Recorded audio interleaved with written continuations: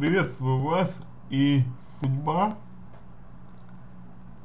в точном значении этого слова есть некая определенность, рамочность. Судьба человека это его предопределенность жизненного пути. Говорят, у каждого своя судьба. Это значит, что каждый идет по своему жизненному пути так, как выходит из его способностей, из его наклонностей, ценностей, идеалов и стремлений. Ну, например, представим себе, что человек, который является альтруистом, да, то есть, который предпочитает делать людям добро, он а, всю свою жизнь сознательно тратит на то, чтобы делать людей счастливыми. Какая у него судьба? Судьба помогать людям.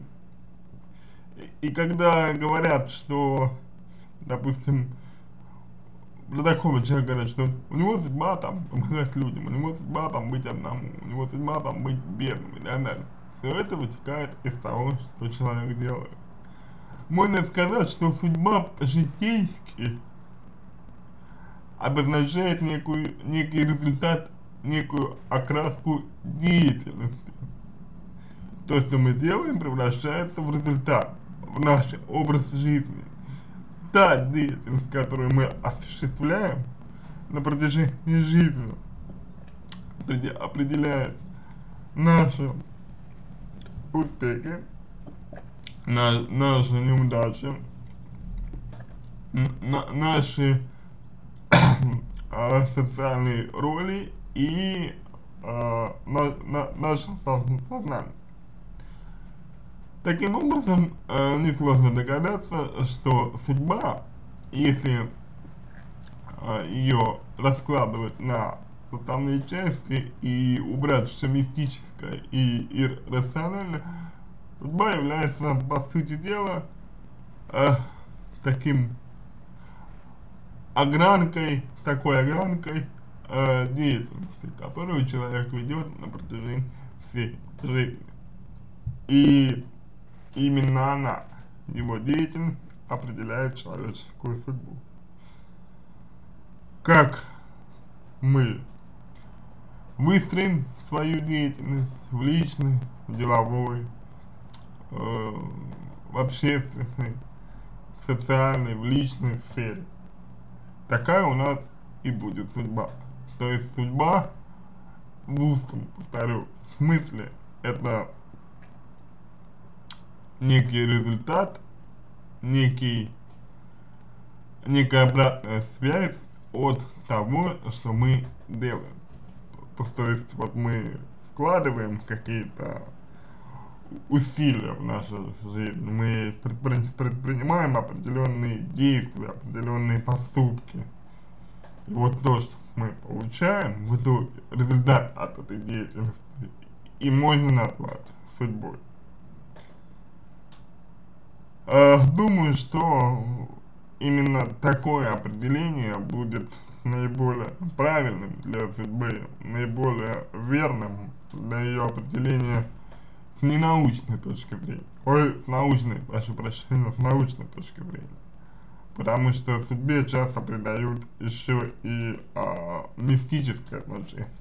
Например, говорят, что у каждого человека своя судьба. То есть имеется в виду, что э, предопределено будущее, э, предопределены какие-то значит, успехи и неудачи человека. Например, говорят, его судьба быть одному.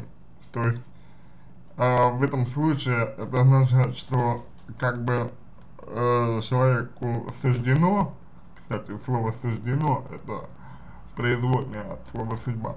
Человеку суждено быть одному, потому что он ведет определенный образ жизни, ведет определенную деятельность. Только с точки зрения а не научную, а, с точки зрения мистической и сакральной, судьбу нельзя изменить. То есть,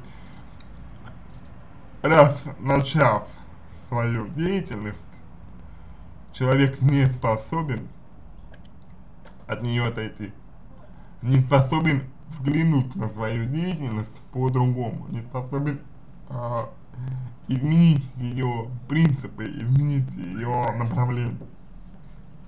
Я думаю, что это очень большое заблуждение, потому что на протяжении жизни а, человек учится, по сути дела, только одному.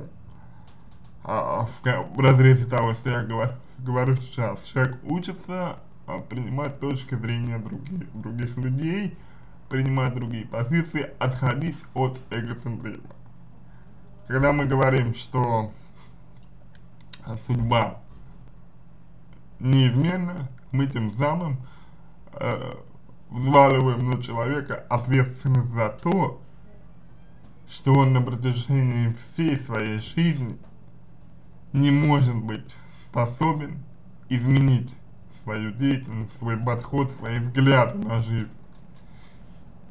И действительно, многие люди, некоторые люди могут этим похвастаться, в кавычках они действительно не могут отойти от своих взглядов, потому что это для них слишком стрессово. И в таком случае можно говорить о судьбе как о чем-то неизбежном, то есть о неизбежном результате нашей деятельности. Но если человек отходит от своих взглядов, от своих точек зрения и принимает другие, и сопоставляет их, то можно говорить о том, что судьбу можно изменить. На этом все. Надеюсь, что помог вам. Если какие-то вопросы остались, обращайтесь в личку, помогу.